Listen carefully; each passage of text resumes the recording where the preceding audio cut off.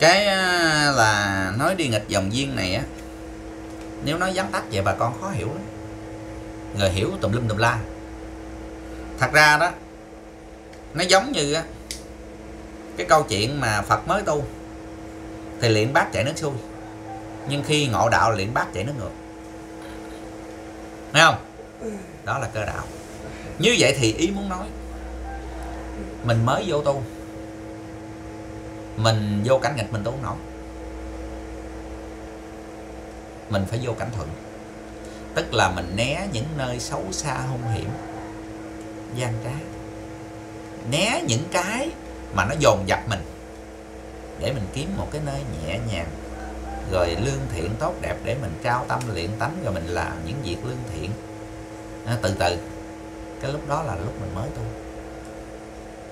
Thấy không? Nhưng tới khi mình ngộ đạo được rồi thì mình mới phát hiện. Cái đạo mà tối ngày quanh năm suốt tháng từ cái lúc mình tu cho tới lúc mình bỏ xác mà chuyện gì cũng lương thiện tốt đẹp không có một cái nghịch cảnh nào đến với mình. À, ai cũng lương thiện ai cũng trợ giúp mình. Rồi mình nó trợ giúp lại những người lương thiện khác không có kẻ hung bạo gian trá, không có kẻ là cái bằng là hành hạ, chửi, mắng du quan giá họa cho mình. Cái đạo mình tới ngày viên mãn, nó yêu xìu, nó thấp bé lắm.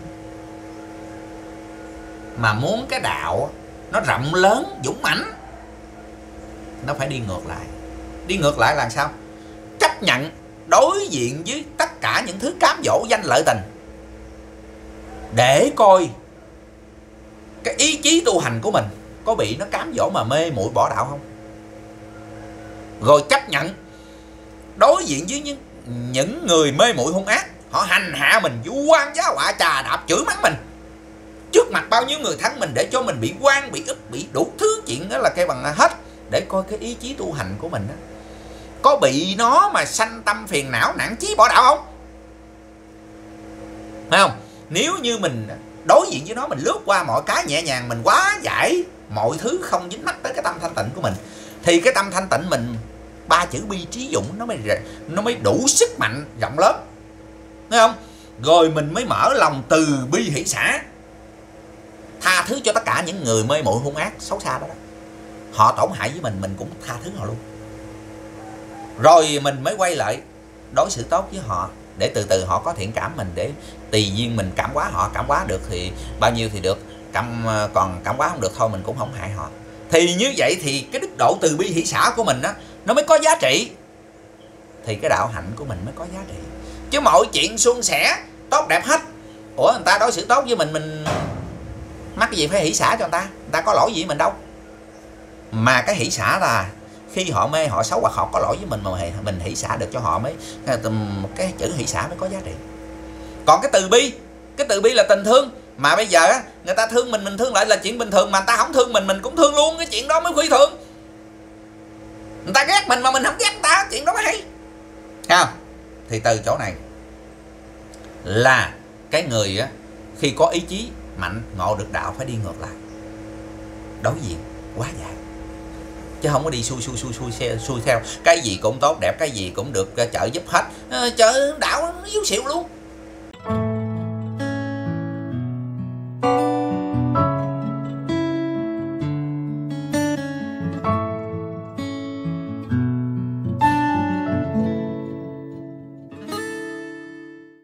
Dạ lời đầu tiên thì à, như mọi lần thì Nguyễn à, chào à, tất cả các quý vị khán giả đang xem kênh của Nguyễn ha. Thì uh, hôm nay Nguyễn cũng có uh, ba chủ đề hay thì uh, xin gửi đến quý vị. Trước khi vào chủ đề đầu tiên thì uh, em mời Quyên Bình uh... Xin kính chào tất cả bà con cô bác anh em cả nhà mình. Mong anh em bà con cô bác cả nhà mình là càng tu càng mở mang càng trí huệ sáng suốt tinh thần mạnh mẽ và thân tâm an lạc dạ thì cái cái, cái chủ đề đầu tiên mà Nguyễn hôm nay muốn hỏi anh Bình để gửi đến quý vị á là thầy có nói là phước huệ song tu. À, vậy à, à, cái người tu phước á thì có những cái điểm mạnh và điểm yếu nào? À, và cái người tu huệ á thì có những điểm mạnh điểm yếu nào? Rồi à, tại sao thầy đã nói là phước huệ song tu? Thì à, hôm nay em nhờ Vương Bình giải cho em cái chủ đề này. À dạ. thì à, tôi xin nhắc lại hai mục tiêu ở trong mười bản pháp giới của là à, nhà Phật mục tiêu thứ nhất là pháp Phật. Có bốn câu. Phương ờ, gọi là tâm ngộ thạch tướng. Duyên khởi tánh không. Tự giác giác tha. Từ bi hỷ xã vậy thì cái câu á, tâm ngộ thạch tướng là muốn nói điều gì? Là muốn nói người đã giác ngộ người ta không trụ chữ tâm mà ta cũng không trụ bất cứ thứ gì dù đời hay phật pháp đó. Tại vì tất cả các pháp giống không thật pháp biết mình là phật chứ phải phật. Cho nên người ta không trụ, người ta không dính mắc cái thứ gì hết. Dù đời hay phật pháp được thanh thiện ác gì cũng vậy. Cái đó mới gọi là ngộ thật tướng. Vô pháp tướng mới là thật tướng. Vô pháp là không có cái để nói vô tướng là không chỗ để chỉ. Nhưng mà nó cũng không có chỗ dính mắt đó gọi là tâm ngộ thật tướng là như vậy. Duyên khởi tánh không. Tức là trong đời sống này, mình có thân mạng này là mình kết hợp cái nhân duyên nhiều đời, nhiều kiếp lẫn hiện kiếp này mà nó ra. Như vậy thì bất cứ dù ai đến với ta tốt hay xấu gì cũng là cái duyên của ta. Cái duyên xấu đến với ta chẳng qua kiếp quá khứ ta tạo nhân xấu, nó mới đến duyên xấu. Mà cái cái duyên tốt đến với ta chẳng qua trong quá khứ ta tạo cái duyên tốt thì hôm nay cái tốt nó mới đến với ta. Là do nhân quả chứ không phải tự nhiên. Như vậy thì khi cái duyên đến với ta ta biết rõ là tốt hay xấu. Rồi, ta mới bình tâm tĩnh trí, dùng cái ánh sáng trí huệ của mình chuyển thành một cái phương pháp, gọi là duyên khởi khởi lên một cái phương pháp. Để hóa giải cái duyên xấu, nó tiêu tan. Hóa giải cái duyên tốt được phát triển tiến hóa về đường chánh pháp của Phật. Thì á, đây gọi là duyên khởi. Tánh không là gì? Khi quá giải xong, trở về bổn tánh. Khi chưa khởi hoặc khởi hoặc là, hoặc giả là giải quyết xong nó tan biến thành hư không. Thì cái thể tánh, nó không có gì thay đổi hay dướng mắt thì đây gọi là tánh không. Tự giác, tức là tự mình buông bỏ, điều chỉnh tự mình giác ngộ thân khẩu ý của mình, giác ngộ thân tâm của mình. Chứ không cần phải đợi chỉ dạy hay là hâm he hay trừng phạt. Đó là tự giác. Giác tha là gì?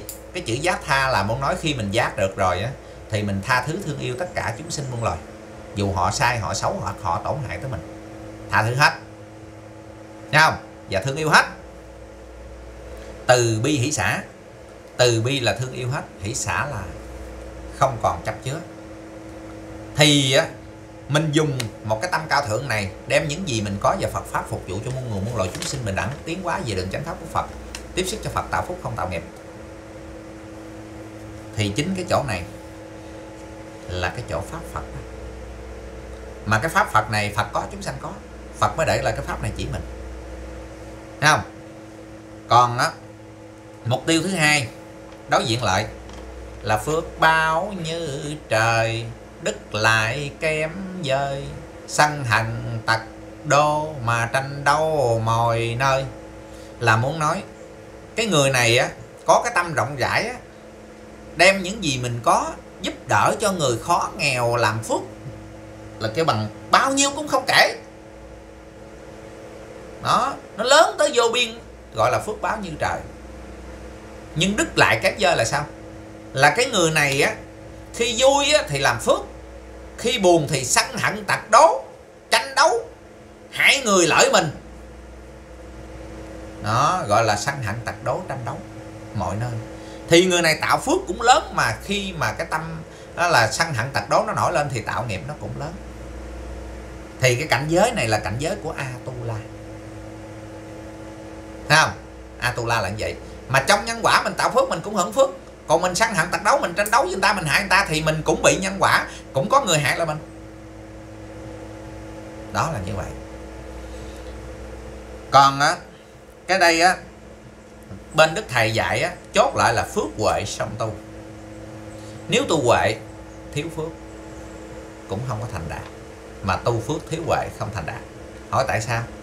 Thí dụ bây giờ, cái người này suốt cuộc đời của họ tu huệ.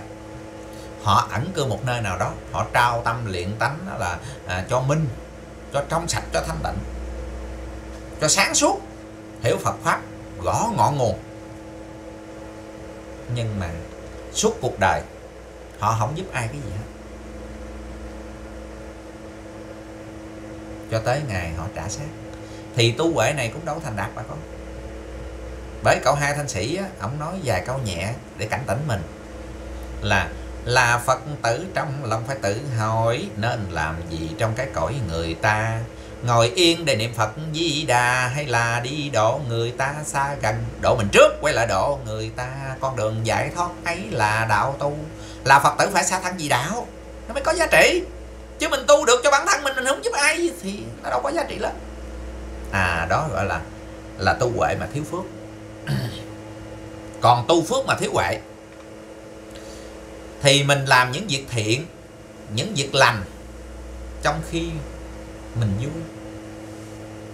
Nhưng cái huệ mình không có, mình không có trao tâm luyện tánh được.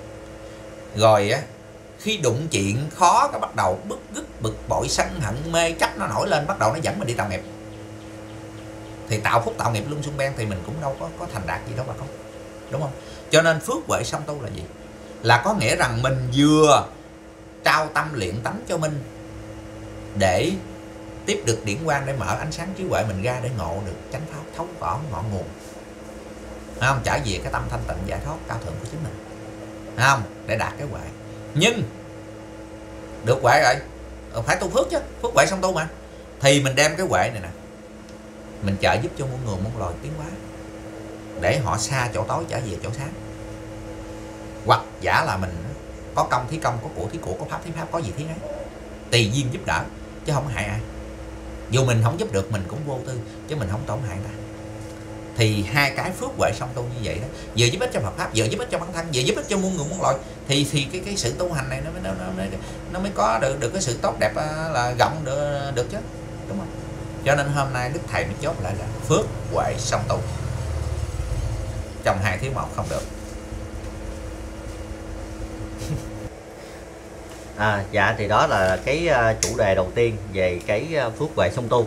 Còn bây giờ thì Nguyễn sẽ làm uh, tiếp chủ đề thứ hai là Nguyễn muốn hỏi anh Bình Yên thế này. À, thầy có dạy là à, mình à, sống là phải một vợ một chồng và một đời một đạo. Thì cái chỗ này à, một vợ một chồng như thế nào và một đời một đạo như thế nào? Nhờ anh Bình giải giúp. Dạ. thì à, trong cái à, đạo của thầy dạy thì trong này á nó có à, tại gia và xuất gia. Thấy không? Đó. Thì là cái xuất gia là lìa bỏ hết, không còn dính líu tới thất tình lục dục. Đó là gì? Để cho những người có ý chí và căn duyên sâu.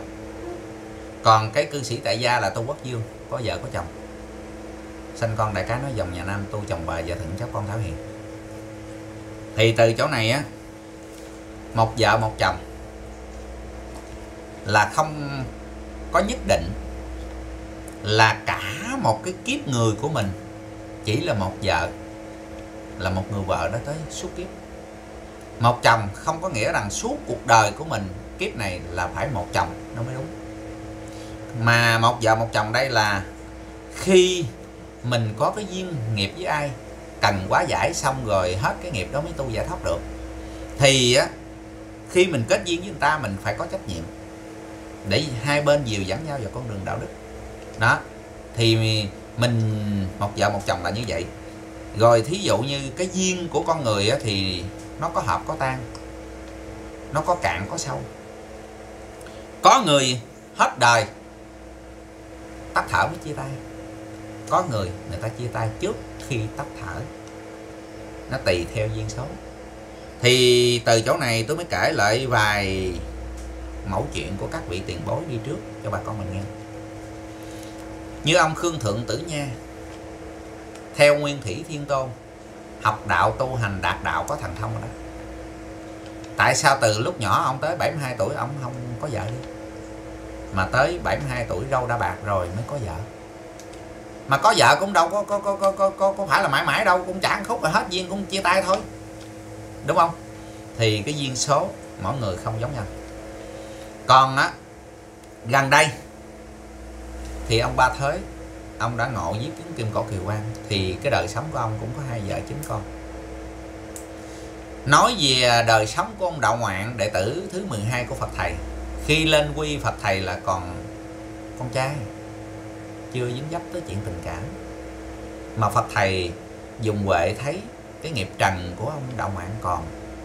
Mới nói ông quay về ông à, lập công bồi đức à, à, rồi ông à, trả cái nghiệp trần ông đi. Rồi chừng nào cái nghiệp trần ông hết ông mới tu giải thoát được. Chứ bây giờ tu giải thoát chưa được. Thì ông đạo ngoạn quay về lay quay tới ba bà vợ. Bà thứ nhất khảo muốn gịch ông ra đời không cho ông tu. Bà thứ nhì thì cùng ông lập công bồi đức giúp dân theo chân lý Phật dạy. Bà thứ ba thì sanh cho ông được thằng con trai là ông chính. Thì một thời gian sau, khi đã duyên trần đã hết, thì mạnh ai nấy tu, không còn lo yêu thương, ghét, hờn, là kêu bằng ghen gì nữa hết. Thì trong lúc này duyên trần của ông đã hết. Ông lên gặp Phật thầy để mà tu giải thoát là ông còn có cái quần cục thôi thì từ chỗ này, tôi muốn nhắn mạnh cho bà con mình thấy cái một vợ một chồng không có nghĩa rằng một đời này chỉ chỉ một người vợ. Nhưng mà khi mình có vợ thì mình phải có trách nhiệm. Mình sống chân thật người ta, đối xử tốt với người ta. Để dìu dẫn nhau, để vào con đường đạo đức giữa mình và vợ mình. Rồi thí dụ như giờ hết duyên thì thôi. Thấy không? Rồi nếu thí dụ mình nghiệp trần mình không có, thì mình tu giải thoát luôn. Còn nếu như nghiệp trần mình còn thì mình phải chịu trả thấy không? À, nhưng mà mình có cái nào mình là có cái nghiệp nào thì mình phải có trách nhiệm với cái nghiệp đó để mình quá giải. Chứ không nên dùng cái tánh gian trá để mà lường gạt người ta hại người ta rồi bỏ người ta đau khổ. Hay là là kêu bằng đó ờ, là kêu bằng đó là à, à, dục vọng mình nổi lên cái bắt đầu có vợ rồi nhưng mà vẫn là kêu bằng đó là à, lấy vợ người ta tà dâm háo sắc đủ thứ. Là ý muốn nói là thói hư tật xấu thì từ chỗ này á là muốn nhấn mạnh một điều là ai có nghiệp thì cứ trả mà trả bằng tấm lòng chân thật đối xử tốt với nhau hết nghiệp thì thôi. Đó, gọi tu giải thoát chứ không có nói là nhất định là à, là một vợ một chồng có nghĩa rằng người này có chồng là ừ, suốt cuộc đời là chỉ một người chồng. Hay là người này có vợ suốt cuộc đời chỉ là một người vợ. Nhiều khi cái duyên nợ người này cái người vợ còn sống lâu nhưng người chồng vì tai nạn mất sớm hay là bệnh đau gì mất sớm rồi ta còn cái duyên nữa, người ta kết duyên một cái duyên khác để người ta tu. Không lẽ như vậy thì là ừ, mình thấy người ta vậy hai, ha trong cái kiếp của người ta người ta có hai ông chồng, không lẽ người ta sai không phải? Thấy không? Đó là như thế. Thì ý muốn nói một vợ một chồng đây là mình, khi có vợ có chồng thì hai bên phải đối xử tốt với nhau để dìu dẫn nhau vào con đường đạo đức hết duyên thôi. Chứ mình không nên dùng sự gian trá hung bạo đối xử tệ với người ta hay là mê muội để mà là à, chuyện này chuyện kia chuyện nọ để làm chuyện xấu. Dạ thì cái phần đó là một vợ một chồng hay bình. Ừ. rồi một cái... đời một đạo nữa. Dạ đúng rồi. Cái một đời một đạo này á là cái đời sống của mình. Thấy không? Là cứ đủ duyên á, thì mình hướng về một cái chân lý của Phật và dùng cái chân lý đó đó để mở tâm trí của mình ra để hành đạo. Là một đạo là như vậy. Chứ không phải mình hôm nay á mình là theo cái uh, chánh pháp của Phật hành đạo chân chánh cái mơi mốt cái mình theo cái đạo tà mê tín dị đoan sát sanh hại vật làm điều á là cái bằng ma mị. À, là nói một một đời một đạo là vậy. Một đạo có nghĩa rằng mình cứ theo cái đường chân chánh của Phật dạy mình làm chứ không theo bất cứ một cái đạo tà nào khác à đó là một đạo. Vậy còn nếu mà mình lỡ ví dụ như mình theo Phật đi mà mình lạc vô cái bên kia đi anh Bình rồi cái, cái có cái tầm mình quậy lại hay là như thế nào không? Bình? thì á lỡ như mình á là mình đi theo đường chân chánh nhưng cái căn cơ mình yếu vì thiếu hiểu biết nó lạc qua bên tà đạo. Thì nếu lạc qua bên tà đạo mà mình thấy nó không ổn thì mình trở về ăn năn sám hối để mình sửa tâm tánh mình làm điều chân chánh lại. Phật cũng tha thứ thì mình tạo nhân hưởng quả. Thì đó là cái cái phần uh, câu hỏi thứ hai ha Quỳnh mình ha. Còn uh, bây giờ á, thì uh, Nguyễn sẽ tiếp tục với cái câu hỏi uh, chủ đề thứ ba. Thì uh, em có cơ, cái thắc mắc như vậy thầy Phật hay nói là tu theo con đường trung đạo. Như vậy con đường trung đạo là như thế nào? Nhờ ừ. Quỳnh mình giải giúp em. Dạ. Cái con đường trung đạo này á thường khi á là bà con á, khó biết về con đường trung đạo này nó rõ ràng. Người á thì nói tu á là phải buông cái có để trở về cái không. Có người thì nói á, nếu trở về cái không không có, cái có lấy gì để tu? À thì từ cái chỗ này đó, nếu như mình buông cái có trở về cái không là mình không thể tu được. Lý do làm sao? Nếu mình không có thân mạng này, mình không có gạo ăn, mình không có nước uống, mình không có cái gì hết, rồi làm sao tu? Làm sao sống? Đúng không? Đó. Nhưng nếu mình mê cái có này để tạo nghiệp, thì chính cái nghiệp này đưa mình về địa ngục. À đơn giản. Còn nếu mà bỏ cái có trở về cái không là mình không sống được luôn, chứ đừng nói chi tới tu hành. Cho nên hôm nay ta phải đi trở về con đường trung đạo là không nắm mà cũng chẳng buông. Hỏi tại sao lý do có cái câu chuyện không nắm cũng không buông tôi dẫn chứng cho bà con mình hiểu. Thí dụ hôm nay mình có ngôi nhà mình có chiếc xe mình có cái điện thoại mình có à, là hũ gạo. Đó. Thì tôi dẫn chứng một vài cái có cho bà con mình thấy như vậy thì mình dùng cái có này để mình sống chứ. Đúng không? Nhưng mà mình là người đạo, mình phải biết. Mình làm trơn chánh để có nó. Chứ không có dùng cái sự gian trá hung bạo của mình hại ai. Từ loài thú tới loài người để có được cái có này. Nghe không? Rồi á, mình có được, mình làm gì? Mình có được. Mình ăn cần ở kiệm, nương dựa cái phương tiện này để làm chuyện chân chánh giúp mình, giúp người tiến hóa về đường chân lý Phật dạy. Nghe không? Khi mình có 10 ngàn tâm mình cũng trong sạch như vậy mà có 100 ngàn tâm mình cũng trong sạch giống vậy, mà mình có một triệu tâm mình cũng trong sạch giống vậy, mà mình không có đồng nào mình cũng trong sạch giống vậy giống vậy. Khi mình có nó, mình không gì có nó mà tạo muốn có nó mà tạo nghiệp.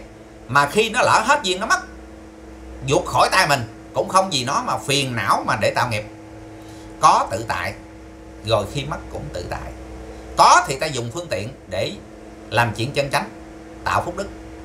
Không có thì ta tùy theo phương tiện khác, bắt đầu ta cũng làm chuyện chân chánh tạo phúc. Như vậy thì chỗ này ta không trụ có, không trụ có là chỗ nào? Có nghĩa rằng mình không gì có những thứ này mà làm điều, những điều là gian trá hung bạo để tạo nghiệp là một chuyện. Mà cũng không gì cái có này để mà ăn chơi xa đọ làm chuyện tội lỗi nữa thấy không? Đó mà khi mất nó rồi cũng không gì nó mà suy sụp tinh thần đó là cái bằng à, sanh tâm đó là cái bằng xấu xa để làm chuyện chuyện chuyện chuyện chuyện, chuyện tội lỗi nữa. Đó. Đó là mình không trụ cái có. Nhưng mà mình cũng không buông cái có. Tại vì mình buông nó lấy gì đâu phương tiện. Nhưng mà mình không trụ nó để nó dẫn mình đi vào đường tội lỗi là không nắm cũng chẳng buông. Thấy không? Cái không của mình là không mê không chấp không gì có nó mà tạo nghiệp. Mà không vì nó có rồi bắt đầu mình á, cứ xa đọ để tạo nghiệp. Đó là cái không của mình là không mê chấp vào đó để tạo nghiệp đó bà con. Còn cái có cái không là như vậy, còn cái có là gì? Mình làm điều chân chánh để có nó có nó để mình xây dựng sự sống cho mình, để mình làm điều chân chánh tiếp tục.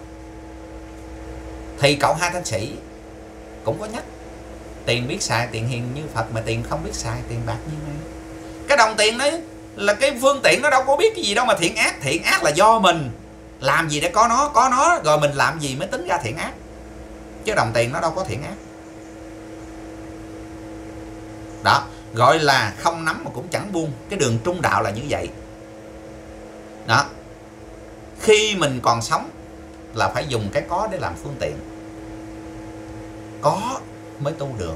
Không có là không tu được còn không là không mê chấp không gì nó mà tạo nghiệp. Là giờ mình dùng có rồi mình dùng không. Hai cái nó trộn lại nó mới trở thành đường trung đạo. Trung đạo là như vậy. Dạ thì đó là câu hỏi thứ ba. Thì uh, Nguyễn tính làm ba chủ đề này. Mà sẵn uh, đây thì Nguyễn cũng có thêm một câu hỏi. À, quỳnh Bình ơi thì à, à, em hay nghe nói là người tu á, là phải đi nghịch dòng duyên. Như vậy đi nghịch dòng duyên là đi sao với mình.